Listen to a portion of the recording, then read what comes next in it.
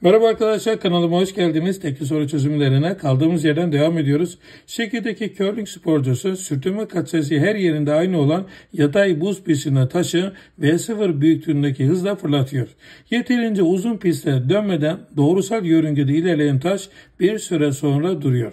Aynı körlük taşı sürtünme katsayısının daha büyük olduğu bir buz pistinde V0 büyüklüğünde hızla fırlatılmış olsaydı 1-2-3 yargılarından hangileri doğru olurdu?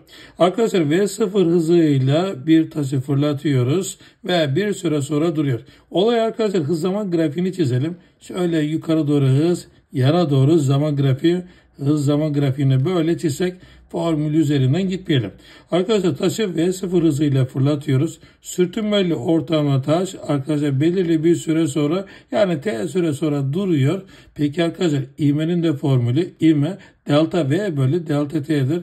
Delta V bölü delta T ve arkadaşlar hız zaman grafiğine şu alttaki alan kadar yer değiştirmiş olur. Hız zaman grafiğinde alan yer değiştirme yani delta x'i verir.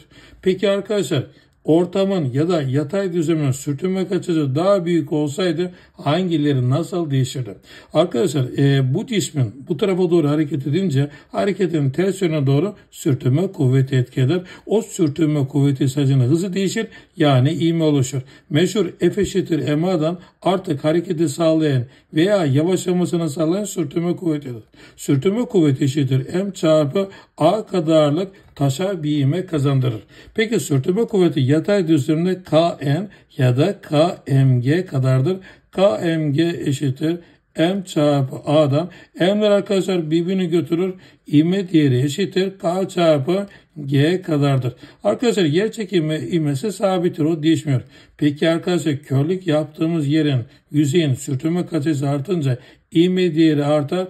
İvmesi daha büyük olurdu. İkinci ifademiz doğru. Peki arkadaşlar yine ilk hızı V0. T sürede ivme artarsa süre değeri azalır. İvme ile süre ters orantılı. Süre azaldıkça daha yakın, daha kısa sürede arkadaşlar e, curling yapılan sporcumuzun taşı durur. O zaman e, daha kısa sürede dururdu. Üçüncü ifade doğru. Ve hız zaman grafiğinde alttaki alan yolu verir.